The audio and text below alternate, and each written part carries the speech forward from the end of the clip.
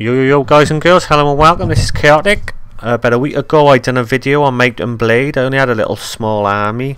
Well, I played the game a little bit more, I haven't got a massive army, I've got about 75 troops. I'm progressing uh, a bit further though. We're actually, my faction is in battle with one or two other factions, they've declared war.